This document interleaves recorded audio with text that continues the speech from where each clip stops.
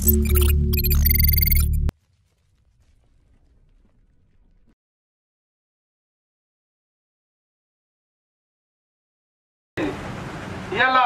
మళ్ళీ మనం అందరం కూడా చైతన్యం కావాల్సినటువంటి సందర్భం మళ్ళీ వచ్చింది. మళ్ళీ అందరం కూడా ఒక్కటి కావాల్సినటువంటి సందర్భం వచ్చింది.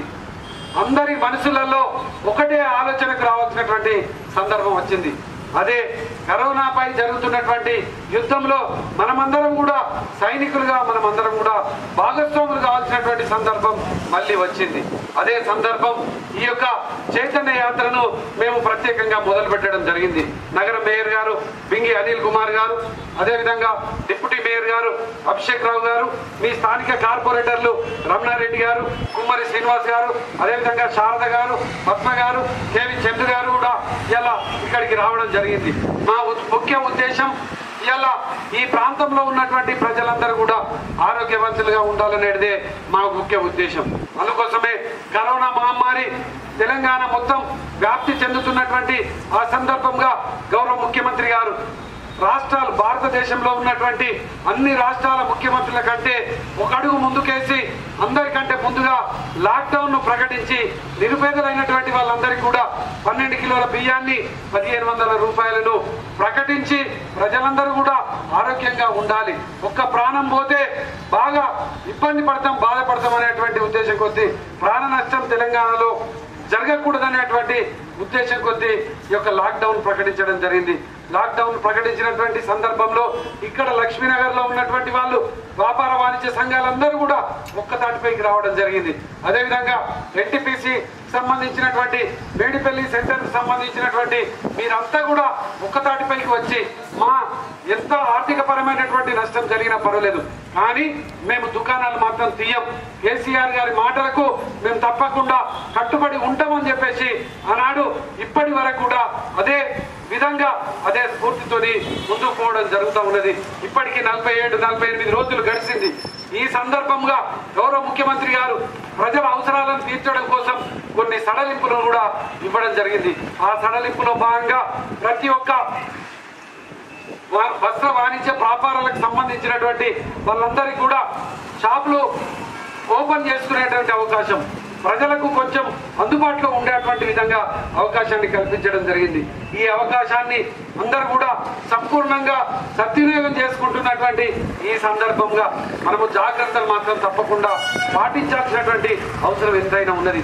ఎందుకు అనంటే మనకు లాక్డౌన్లో సంపూర్ణంగా అందరం కూడా ఎక్కడోళ్ళం అక్కడ ఇళ్ళలోనే ఉన్నాం. మన ఇంట్లో కరోనా లేకపోతే కరోనా వ్యాధి సోకకపోతే మన మన వాళ్ళకు ఎవరికి రాకుండా మనం నలభై ఎనిమిది రోజులు ఇళ్ళలోనే గడిపినాం. ఎవరి ఇంట్లలో వాళ్ళు ఉన్నారు? ఏదైనా అవసరం పడితే ఒక్కరు మాత్రమే బయటికి వచ్చి వాళ్ళ అవసరాలను తీర్చుకున్నారు. కానీ ఈరోజు అందరూ కూడా బయటికి వస్తున్నటువంటి సందర్భం. వేరే రాష్ట్రాల వాళ్ళు కూడా మన రాష్ట్రానికి వస్తున్నటువంటి సందర్భం. వేరే దేశాల వాళ్ళు కూడా మళ్ళీ మన దేశానికి వస్తున్నటువంటి సందర్భం. ఈ సందర్భంలోనే అందరం కూడా తప్పకుండా జాగ్రత్తలు పాటించాలి.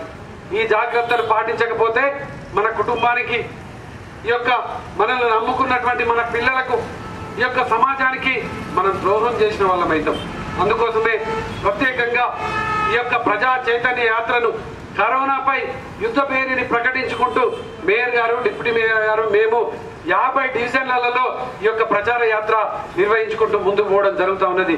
ఈ యాత్రలో భాగంగానే ఈరోజు ఎన్టీపీసీ మేడిపల్లి సెంటర్లో వ్యాపారస్తులందరూ కూడా ఎందుకు అనంటే ఒక దుకాణానికి రోజు సుమారు పది ఇరవై వంద మంది రావడానికి ఆస్కారం ఉంటుంది.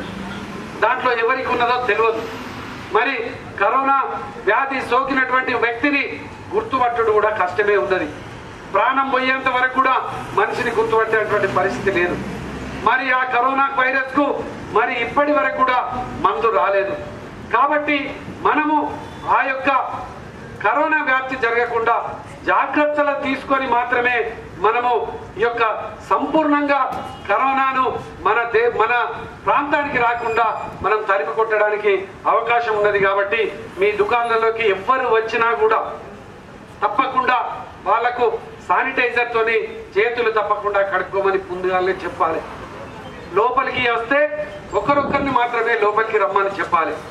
వచ్చినటువంటి వాళ్ళు తప్పకుండా మాస్కులు తప్పకుండా ధరించాలని చెప్పాలి. తప్పకుండా మీరు కూడా ఒక డిస్టెన్స్ మెయింటైన్ చేయాలి. లేదంటే మీకు ఆ వ్యాధి సోకినట్టయితే ఈ మళ్ళీ ఇంకెవరైనా మీ దుకాణంలోకి వస్తే వాళ్ళకు కూడా సోకడానికి ఆస్కారం ఉన్నది కాబట్టి మొన్నటికి మొన్న సూర్యాపేటలో ఒక మెడికల్ షాప్ యాజమానికి రావడం జరిగింది.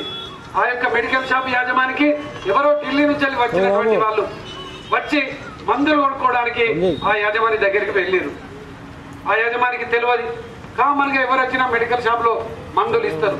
కానీ ఆ సంక్రమించినటువంటి ఆయనకు సంక్రమించినటువంటి ఆ యొక్క వ్యాధి మళ్ళీ మొత్తం సూర్యాపేటలో ఎనభై మూడు మందికి రావడం జరిగింది. అంటే ఇలా మనం అందరం కూడా దుకాణాలు తీస్తున్నాం. మీరందరూ కూడా సరే పదో పరుకో ఇల్లు గడవడం కోసమో దేనికోసమో తప్పకుండా దుకాణం నడిపించుకుంటూ మనం తప్పకుండా ముందుకు పోవాల్సినటువంటి పరిస్థితి ఈరోజు ఉన్నది.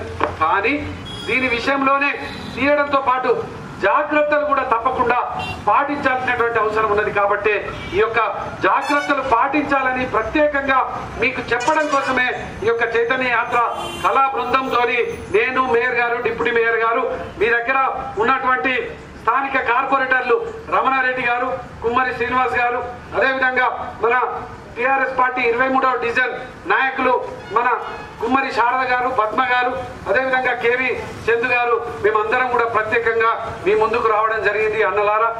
ఏ రోజైనా కూడా మీరు సంపూర్ణంగా ప్రభుత్వానికి సహకరించుకుంటూ వస్తున్నటువంటి వాళ్ళు. ఆనాడు ఎట్లాగైతే తెలంగాణ రాష్ట్రం కావాలని కోరుకొని అందరం కూడా ఒక్కటైనమో ఇలా మళ్ళీ కూడా మనం ఈ యొక్క కరోనాపై యుద్ధం ప్రకటించడం కోసం కూడా ఒక్కటి కావాల్సినటువంటి సందర్భం వచ్చింది. తప్పకుండా మీరందరూ కూడా ఈ యొక్క స్వీయ నియంత్రణ పాటిస్తూ అందరూ కూడా ఈ యొక్క ఎన్టీపీసీలో కరోనా వ్యాప్తి జరగకుండా జాగ్రత్తలు తీసుకోవాలని మనస్ఫూర్తిగా మిమ్మల్ని అందరినీ కోరుతూ ఈరోజు ఈ యొక్క కార్యక్రమంలో పాల్గొంటున్నటువంటి మిత్రులందరికీ కూడా నమస్కారాలు తెలియజేస్తూ ముగిస్తా ఉన్నాను.